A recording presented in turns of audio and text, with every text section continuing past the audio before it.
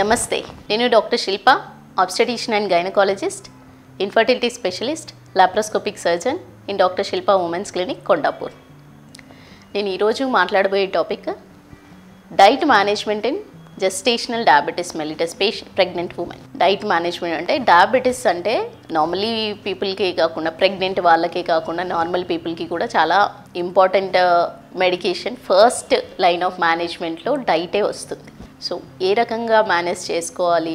Dietary management అంటే ఏంటి? First diabetes uh, కొంచెం షుగర్ లెవెల్స్ రేజ్ అవుతున్నాయి అంటేనే వెంటనే డైట్ గురించి ఎక్స్ప్లెయిన్ చేస్తారు. డాక్టర్ అండ్ డైటీషియన్ కన్సల్టేషన్ తీసుకొని ఆ డైట్ చార్ట్ అనేది ఫాలో అయినట్టయితే కూడా మెడిసిన్స్ అవసరం లేకుండా డయాబెటీస్ లెవెల్స్ అంటే షుగర్ లెవెల్స్ని కానీ కంట్రోల్డ్గా పెట్టేసి దానివల్ల వచ్చే రేజ్డ్ షుగర్ లెవెల్స్ వల్ల వచ్చే బేబీకి కాంప్లికేషన్స్ కానీ మదర్ కాంప్లికేషన్స్ కానీ తగ్గించవచ్చు. సో ఈ ఏ డైట్ యూజువలీ ఫాలో అవ్వాల్సింది? సో డైటీషియన్ కన్సల్టేషన్ ఒకటి తీసుకోమన్నాను. సో డైటీషియన్ కన్సల్టేషన్తో పాటు బేసిక్గా మనకి అందరికీ అందుబాటులో డైటీషియన్ ఉండదు. అంటే ఫర్ ఎగ్జాంపుల్ రూరల్ ఏరియాస్లో కానీ అంటే సిటీలో డైటీషియన్ అందుబాటులో లేని వాళ్ళకి చిన్న చిన్న మార్పులు. మనం చేసుకునే మనం రోజువారీ తీసుకునే ఫుడ్లో కొన్ని రకాల మార్పులు చేసుకున్నట్టయితే షుగర్ లెవెల్స్ ఎక్కువగా రేజ్ అయ్యి బేబీకి కానీ తల్లికి కానీ బిడ్డకు కానీ అపాయం జరగకుండా నివారించవచ్చు. ఏ రకంగా చేసుకోవాలి? సో ఈ డైట్ మేనేజ్మెంట్ అనేది యూజువల్లీ ప్రెగ్నెంట్ ఉమెన్ మొదటిసారి వచ్చినప్పుడు అంటే ప్రీ ప్రెగ్నెన్సీ ప్రెగ్నెన్సీ కంటే ముందు ఉన్న వెయిట్తో కంపేర్ చేసుకుని ఎంత అమౌంట్ ఆఫ్ ఫుడ్ అనేది వాళ్ళు తీసుకోవాలి వాళ్ళకి అవసరం ఉంటుంది డైలీ బేస్డ్ రోజు ఎంతవరకు తీసుకోవాలి అంతే తీసుకోవాలి ఎక్స్ట్రా వెయిట్ అనేది గెయిన్ అవ్వకుండా ఉన్నట్టయితే అంటే ఇప్పుడు ఫర్ ఎగ్జాంపుల్ ప్రెగ్నెన్సీ టైంలో లెవెన్ కేజెస్ ఆఫ్ వెయిట్ అనేది ప్రెగ్నెన్ ఉమెన్కి ప్రీ ప్రెగ్నెన్సీ అంటే ప్రెగ్నెన్సీ నిలబడక ముందు వెయిట్కి పదకొండు కేజీలు వెయిట్ పెరగడం అనేది జరగాలి. అది నార్మల్ ప్రెగ్నెన్సీ పీరియడ్లో జరిగేది సో పదకొండు కేజీలు కాకుండా ఫిఫ్టీన్ కేజెస్ వరకు పెరిగినప్పుడు కూడా అది కంగారు పడకుండా ఉండాలి. ఒకవేళ అదే ప్రెగ్నెన్సీ వెయిట్ ప్రెగ్నెన్సీ టైంలో పెరిగే వెయిట్ అనేది బరువు ఒకవేళ ఇరవై కేజీస్ కంటే ఎక్కువగా పెరుగుతోంది అని అంటే అది ఆ పేషెంట్కి బీపీ లెవెల్స్తో పాటు షుగర్ ఎక్కువగా వచ్చే అవకాశాలు ఉంటాయి. అంటే ఎక్కువగా షుగర్ లెవెల్స్ పెరిగి అంటే ఇన్సులిన్ అనేది పనిచేయకపోవడం ఇన్సులిన్ రెసిస్టెన్స్ అనేది రావడం దానివల్ల షుగర్ లెవెల్స్ పెరగడం అనేది జరుగుతుంది. సో ఈ బిఎంఐ బేస్డ్ మేనేజ్మెంట్ ఎలా చేసుకోవాలి? బిఎంఐ బేస్డ్ మేనేజ్మెంట్ అంటే ఫర్ ఎగ్జాంపుల్లో ప్రెగ్నెన్సీ అంటే తక్కువగా బరువు ఉన్న వాళ్ళు బరువు తక్కువగా ఉన్న వాళ్ళకి అంటే లెస్ దాన్ నైన్టీన్ బిఎంఐ ఉన్న వాళ్ళకి thirty five to forty kilo calories వరకు per KG kilo calories per KG వరకు వాళ్ళు ఫుడ్ అనేది తీసుకోవచ్చు. సో వాళ్ళకి మోస్ట్ ఆఫ్ ది కేసెస్కి డయాబెటీస్ వచ్చే అవకాశాలు చాలా తక్కువ. కొంతమంది నార్మల్ బిఎంఐ మెయింటైన్ చేస్తున్న వాళ్ళు అంటే నైన్టీన్ నుంచి ట్వంటీ ఫోర్ బిఎంఐ రేంజ్లో బాడీ మాస్ ఇండెక్స్ అంటారు. అంటే వాళ్ళ హైట్కి తగ్గ వెయిట్ హైట్కి సంబంధించి వెయిట్ రిలేటెడ్ బిఎంఐ మేనేజ్మెంట్ అనేది ఉంటుంది.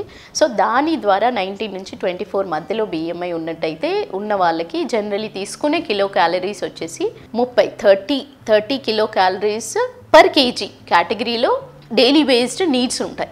అంతకంటే ఎక్కువగా తీసుకున్నప్పుడు చాలామందికి డయాబెటీస్ వచ్చే అవకాశాలు ఉంటాయి. సో దాని ప్రకారంగా ఇప్పుడున్న అడల్ట్రేటెడ్ ఫుడ్ వల్ల very common high sugar levels అనేది రేస్ అవుతున్నాయి. వెదర్ అది ట్వంటీ ఎయిట్ వీక్స్ తర్వాత కానీ ట్వంటీ ఎయిట్ వీక్స్ ముందు కానీ అవ్వచ్చు. సో ప్రెగ్నెన్సీ నిలబడుతూనే అంటే గర్భవతి అవుతూనే కొంచెం డైట్ పరంగా కాన్షియస్గా ఉన్నట్టయితే ఈ రకమైన చేంజెస్ చేస్తూ ఇంకా కార్బోహైడ్రేట్ ఇంటేక్ అంటే కాంప్లెక్స్ కార్బోహైడ్రేట్స్ ఎక్కువగా తీసుకుంటూ రైస్ ఐటమ్స్ కానీ అవి తగ్గించి అంటే limited amount of carbohydrate forty to fifty percent of carbohydrate తీసుకొని థర్టీ పర్సెంట్ ప్రోటీన్స్ తీసుకుంటూ థర్టీ పర్సెంట్ ఫైబర్ డైట్ తీసుకున్నట్టయితే బ్యాలెన్స్డ్ డైట్ తీసుకుంటే చాలా వరకు డయాబెటీస్ అనేది అంటే షుగర్ లెవెల్స్ అనేది ఎక్కువగా రేజ్ అవ్వకుండా కంట్రోల్డ్ షుగర్ లెవెల్స్తో చేయొచ్చు. డైట్ డైట్ మేనేజ్మెంట్ అనేది బాగా వర్క్ చేస్తుంది.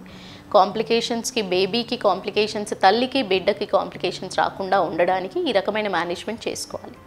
అండ్ కార్బోహైడ్రేట్ అంటే కాంప్లెక్స్ కార్బోహైడ్రేట్స్ ఎక్కువగా ఉండేలా చూసుకోవాలి. డై డైరీ ప్రోడక్ట్స్ తక్కువగా తీసుకోవడము రైస్ ఐటమ్స్ తక్కువగా తీసుకోవడము దుంపలు తక్కువగా తీసుకోవడము వల్ల carbohydrate intake direct carbohydrate intake అనేది తగ్గించవచ్చు. వాళ్ళు తీసుకునే మీల్స్ కూడా three main meals. That frequent small meals ఉండాలి. Three main meals plus three snacks. That it not it అది కూడా ఎక్కువగా అమౌంట్ కాకుండా కొంచెం కొంచెంగా తక్కువ మోతాదులో తీసుకోవాలి. ఒక డైట్ అంటూ కరెక్ట్ ప్యాటర్న్లో మెయింటైన్ అవుతూ షుగర్ లెవెల్స్ రేజ్ అవ్వకుండా కాంప్లికేషన్స్ రాకుండా ఉంటాయి. సో దీని మేనేజ్మెంట్ వైజ్గా ఇది ఈ డైట్ మెయింటెనెన్స్ వరకు ఎంతవరకు చూడొచ్చు అంటే డైట్ మేనేజ్మెంట్ వరకు ఓన్లీ ఇప్పుడు డయాగ్నోస్ అయ్యాక అంటే షుగర్ ఉంది వీళ్ళకి డయాబెటీస్ ఉంది అని ఒక ప్రెగ్నెంట్ ఉమెన్కి తెలిసిన తర్వాత టూ వీక్స్ వరకు మాత్రమే డైట్ కంప్లీట్ డైట్ చార్ట్ ఇచ్చి డైటీషియన్ కన్సల్టేషన్ ప్రకారం డైట్ చార్ట్ ఇచ్చేసి దాన్ని ఫాలో అయ్యాక టూ వీక్స్లో ఒకవేళ కంట్రోల్ అవనట్లయితే వాళ్ళకి ట్రీట్మెంట్ పార్ట్ అనేది స్టార్ట్ చేస్తేనే చాలా మంచిది. ఎందుకంటే బేబీ పరంగా కాంప్లికేషన్స్ అవ్వకుండా బిడ్డ ఎదుగుదలలో మార్పులు రాకుండా కార్డియాక్ ప్రాబ్లమ్స్ రాకుండా ఉండడానికి తల్లికి కూడా ప్రమాదం కాకుండా ఉండడానికి కిడ్నీ ప్రాబ్లమ్స్ రీనల్ ప్రాబ్లమ్స్ రాకుండా ఉండడానికి స్టార్ట్ చేయాల్సి వస్తుంది.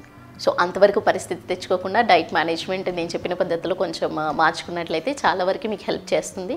సో ఈ వీడియో మీకు హెల్ప్ చేస్తుందని అనుకుంటున్నాను. సో మీ ఫ్రెండ్స్ కూడా కావాలంటే షేర్ చేయండి. హెల్ప్ అవుతుంది అనుకుంటే షేర్ చేయొచ్చు. సో ఇంకా ఏమైనా డౌట్స్ ఉన్నట్టయితే కింద స్క్రోల్ అవుతున్న నెంబర్కి కామెంట్ అయినా పెట్టచ్చు. ఐ మీన్ మెసేజ్ పెట్టచ్చు లేదా కామెంట్ సెక్షన్లో డౌట్స్ పెట్టచ్చండి. Thank you. నమస్తే.